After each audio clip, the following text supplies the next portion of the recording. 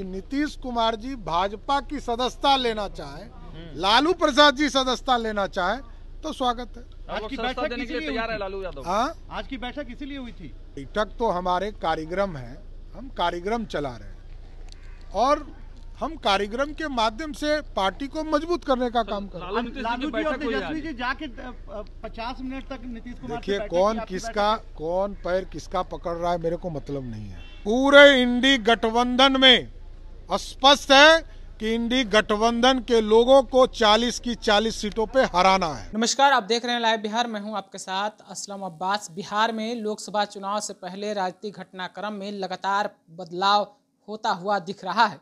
दरअसल, बिहार में एनडीए और महागठबंधन के जो राजनीतिक हालात है, उसमें एनडीए तो एक तरफ़ मजबूती से चुनाव लड़ने का दावा कर रही है तो दूसरी तरफ़ महागठबंधन में शामिल दल अपने आप में या कहें कि आपस में ही सिर्फ़ फुटबॉल का खेल खेल रहे हैं। और लगातार ये चर्चाएँ हो रही है कि महागठबंधन में ऑल इज़ वेल नहीं है और नीतीश कुमार नाराज़ चल रहे हैं। इसी को लेकर एनडीए में फिर से शामिल होने की चर्चाएँ भी हो रही है तो दूसरी तरफ़ भाजपा के प्रदेश अध्यक्ष सम्राट चौधरी ने एनडीए में शामिल होने के सवाल पर साफ़ साफ़ कहा है कि अगर ये लोग आना ही चाहते हैं तो भाजपा की सदस्यता ले लें। साथ ही साथ उन्होंने कहा कि हम 2024 में पूरे महागठबंधन के जितने लोग हैं, सबको ज़ीरो पर आउट करने का काम करेंगे। इसके अलावा उन्होंने कहा कि हम लगातार चुनावी मोड में हैं और हमारी जो है चुनाव अभियान की शुरुआत 15 तारीख से हो चुकी है। हमारे राष्ट्रीय अध्यक्ष, यानी कि जेपी नड्डा के बारे में उन्होंने कहा है। इसके अलावा 2024 से पहले कैसे विपक्ष को हराने का प्लान है भाजपा के पास उसके बारे में भी उन्होंने क्या कुछ कहा है, वो भी सुनिए। भाजपा भाजपा अपने चुनाव अभियान की शुरुआत कर चुकी है। पंद्रह तारीख को दीवार लेखन के साथ राष्ट्रीय अध्यक्ष जी ने पूरे देश में अभियान की शुरुआत की है। हम लगातार तीर्थ स्थानों पर मंदिर सफ़ाई अभियान चला रहे हैं। लाभार्थी संपर्क अभियान चलाएँगे, गाँव संपर्क अभियान चलाएँगे। हम गाँव में स्वयं सहायता समूह के बीच में जो बहनों के बीच में नरेंद्र मोदी जी की सरकार ने काम किया है, हम बीच, गाँव के बीच में जाएँगे।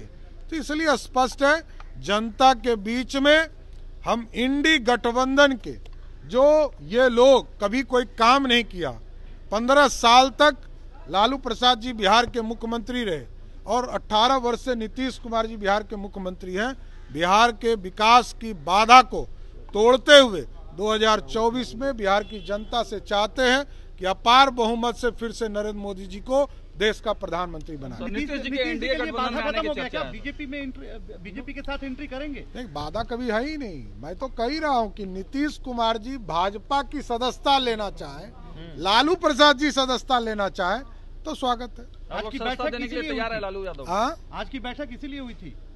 नहीं नहीं बैठक तो हमारे कार्यक्रम है हम कार्यक्रम चला रहे हैं।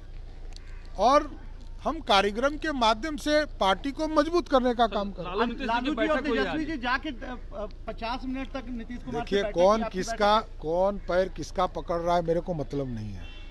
पूरे इंडी गठबंधन में स्पष्ट है कि इंडी गठबंधन के लोगों को 40 की 40 सीटों पे हराना है। तो अभी आपने सम्राट चौधरी को सुना है, किस तरीके से वो बोल रहे थे, उनका साफ़ साफ़ कहना था कि हम सब मजबूती से चुनाव लड़ने की तैयारी कर चुके हैं और हम लोग चुनावी मोड में हैं। और नीतीश कुमार या लालू यादव, ये दोनों का एनडीए के सवाल पर उन्होंने कितना कुछ कटाच किया है, उन्होंने साफ़ साफ़ कहा है कि अगर आना ही है तो भाजपा की सदस्यता ले लें।